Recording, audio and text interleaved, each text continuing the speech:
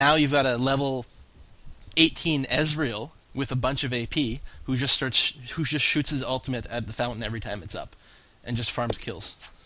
Yeah, I guess I Gangplank. could see that. Gangplank. Pantheon could do it Okay. too, but it'd probably kill him. Yeah, like if you go on YouTube and look up League of Legends hilarity, a Pantheon does that and aces the whole team. It's ridiculous. Oh, that's hilarious. So yeah, okay, I guess I can see where that is. Um, that's good. Fixed a bug where summoners teleport refreshed your W slot's cooldown when used. That seems That like would it be could've been beautiful. Yeah. Disconnected players will now run home if their blue pill is interrupted. That's also very awesome. Oh, that is good. Actually, because I, I, always thought like, why doesn't it continuously spam, spam blue pill? Because you get interrupted Exactly. once and they just stand there for the rest of the game. Ridiculous. Okay, I think that's it for the patch notes. Rhythe, you got anything you want to add? no, I, you, we guys pretty much covered it all. All right, so let's move on then. Um, what is next? We are going to talk about champs that are free this week. Um, who wants to start off? Go ahead, Rife. I okay. Um, my champion this week is Zilean. Now Zilean seems to be free like every single week. It's ridiculous, but I hardly ever see people play him correctly. Yeah, people can spam time bombs and rewind, but I mean, what you really need to do is focus on diffusing enemy Zilean time bombs with your own, since it doesn't do any damage to the people you put them on. So I mean, why not use what you can? to stop damage to your champions. Like if you see one of your allies running away about to die with a time bomb on his head, help him out, defuse the bomb. Come on, guys. So and then So if you put a bomb on someone, it dif- it diffuses their bomb. Yeah, and it doesn't do any damage to your champion that sounds like a allies. bug actually, because like if you put a bomb on someone and then you rewind and you put a bomb on the same person, your initial bomb will detonate. So it's surprising Yeah, but- that it doesn't detonate the first bomb.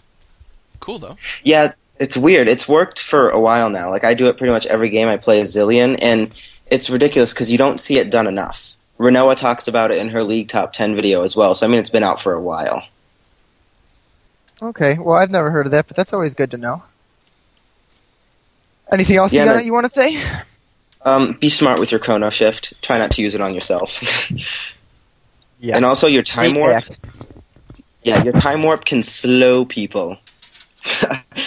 and help Yeah, I've speed seen you up. time warp Criminally Okay, you can go underused. ahead. Oh, yeah. Yeah. well, So- I was just gonna say time warp is criminally underused. Like I've seen people use it on their own teammates all the time, but I barely ever see someone like slow an enemy champion to get a kill with it. Yeah, it's very underused. So that's all I got for Zilean. So I guess it's your turn. Quill, you want to go, or you want me to take it? Um, no, I, well, go ahead. Go ahead. Okay. All right. Well, I'm taking Sion this week, so anyone who's watched my videos knows that I play Sion all the time. I prefer to build him AP, uh, basically focusing on his shield and his stun, using enrage to like get ridiculous with the amount of hit points you gain. Um, and if you need to know that much about Sion, you can watch one of my four or five videos on him. But I'll just go over a couple things. I basically like to build him AP. If you don't have a tank on your team, you can build him tank AP, which includes Rylai's, Rod of Ages, probably something like a Banshee's Veil, and beyond that, you can pretty much build whatever.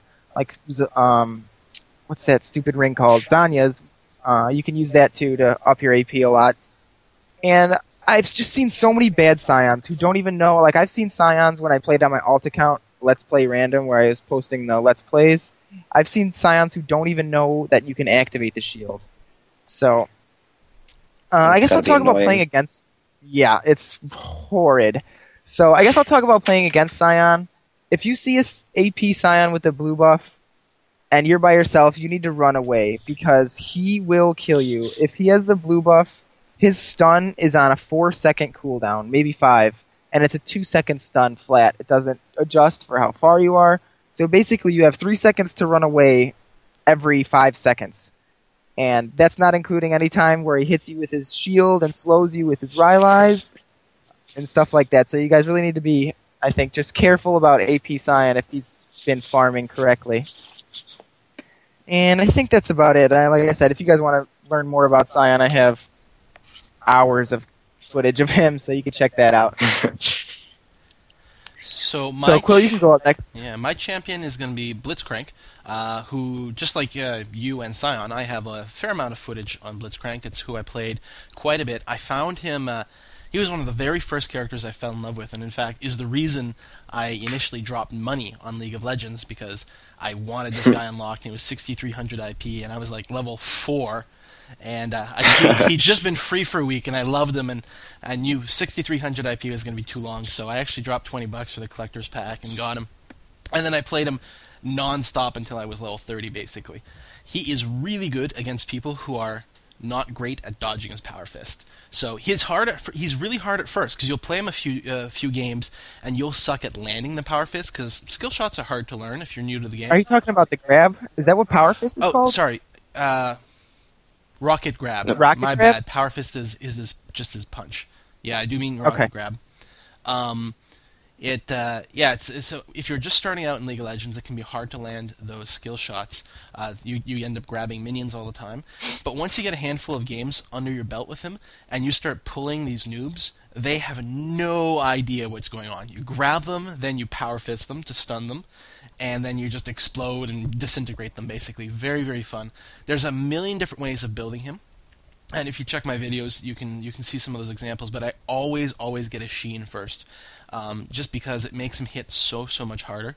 He's got a really short cooldown, especially once his power fist gets up in level. You can punch people like every three seconds, I think, and uh, even the rocket grab gets on a fairly short cooldown, and you can tear people up pretty good. I usually build him semi tanky, but he's not quite as durable as other tanks like Cho'Gath.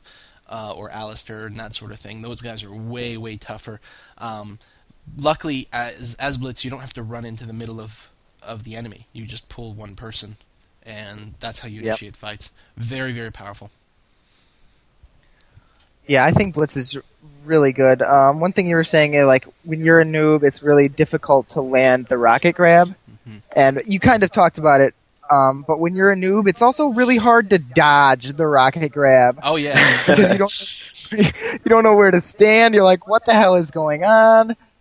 So I just wanted to point that out. But beyond that, you did a good good evaluation. But when you're a noob, it's both hard to connect and to dodge that fucking rocket grab. Yep.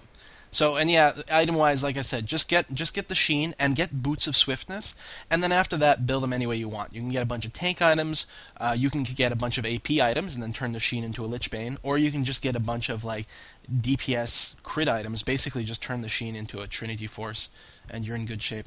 And I'm gonna let you guys move on to the next section. I actually have to go AFK for two seconds. I'll be right back though. Oh, no problem.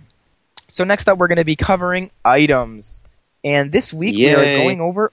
Yeah, we are going over aura items. So, do you have the Leaguecraft page we sent you open?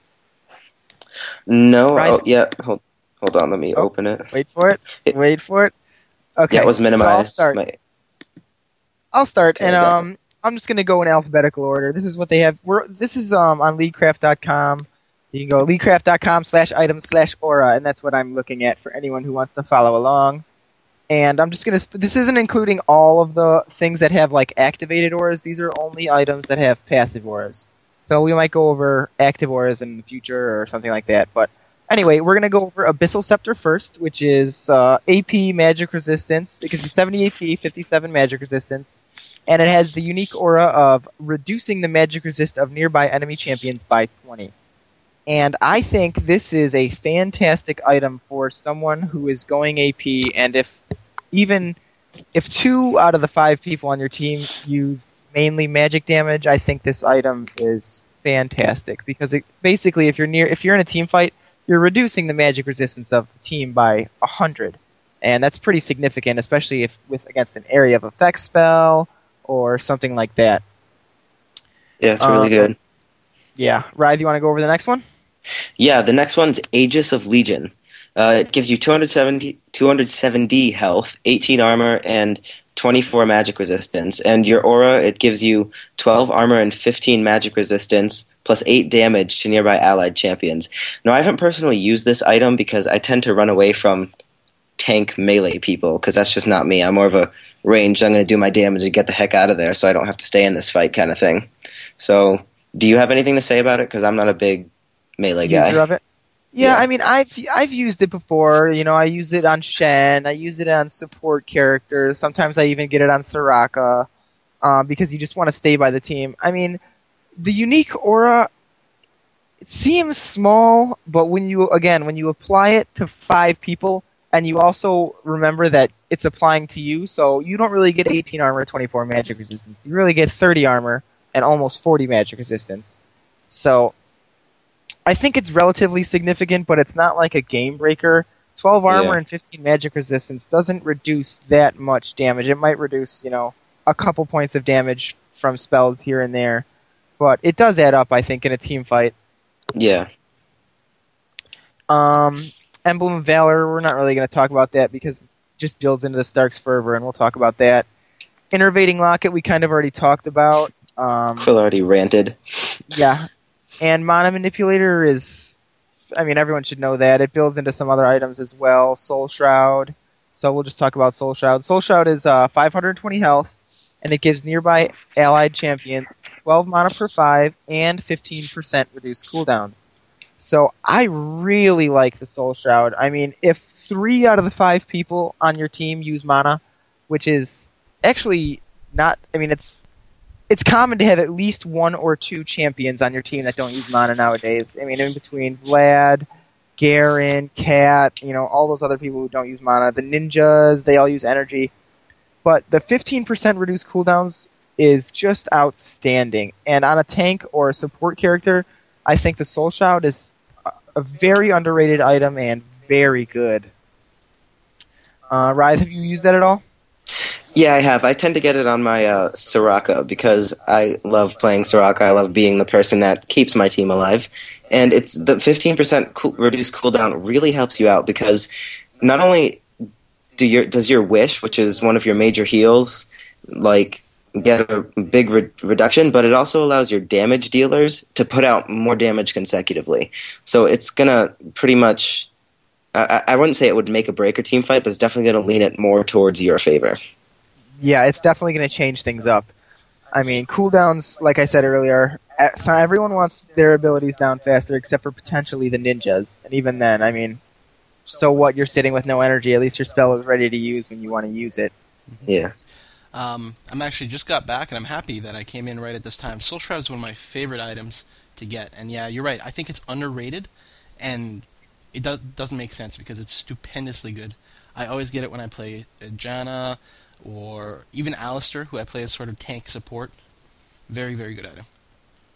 Yeah, and it's it's it's noticed even more, like you said when you said wish. I just thought about that. Like it's especially noticeable on ultimates who have longer than one minute cooldown because you're going to notice a significant reduction in the cooldown. Um, but one Yeah. thing I am not sure about, like, how does it work if you like run into like nearby someone who just used their ultimate? Does it like activate the cooldown, and then when you run away, their the cooldown goes back up, or what? That's You interesting. I don't know. Because like I don't know how that works, so I, maybe we should look into that sometime. But I don't know how the cooldown would affect. Like, say you know whatever Soraka is standing by someone with a soul shroud, and she uses wish. Is it gonna apply the cooldown instantly, and then even if the person with soul shroud walks away, the cooldown has already been applied, or what? I'm totally, I have no idea. If I were designing this, the way I would do it is simply while you have the buff on you, your cooldowns are cooling down. Fifteen percent So- faster. Yeah, something on my computer just made a bunch of noise.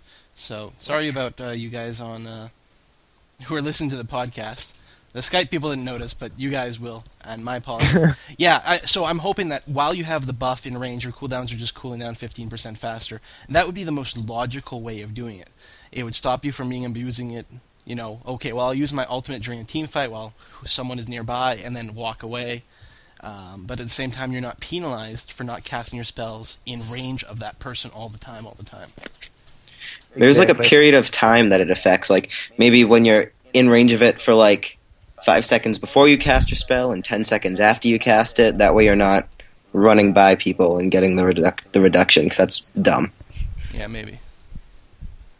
All right, so I think we've talked plenty about Soul Shroud. Um, let's move on to Stark's Fervor. Uh, I got a couple things to say, but then I'll let you two guys take over. Um, I think Stark's Fervor is a pretty solid item.